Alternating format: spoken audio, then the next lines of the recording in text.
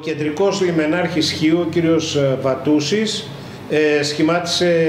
δικογραφία η οποία διαβιβάστηκε μέσω του κυρίου Εισαγγελέα Πρωτοδικών προς την Βουλή των Ελλήνων και η οποία θα τεθεί υπόψη της αρμόδιας επιτροπής της Βουλής ε, προκειμένου να αποφανθεί περί της άρσης ασυλίας μου ως βουλευτού ε, προκειμένου να αντιμετωπίσω το κατηγορητήριο όπως το έχει διατυπώσει ο κύριος Εισαγγελέας. Ε,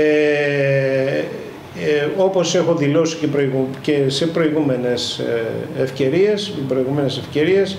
ε, εγώ θα ζητήσω την άρση της ασυλίας μου, δεν θα κάνω χρήση βεβαίως της ασυλίας της βουλευτικής, προκειμένου μαζί με τους συγκατηγορούμενους ε, υπόλοιπους ερετούς του νησιού μας να αντιμετωπίσουμε από κοινού τις κατηγορίες. Ε, μετά από την ε,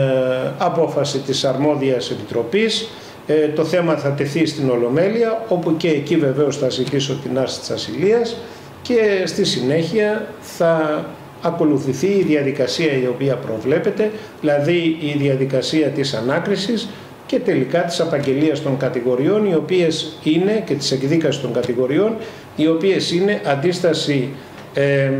παρακόλλησης συγκοινωνιών και χρήση παράνομης βίας κατά συρροή και κατά εξακολούθησης.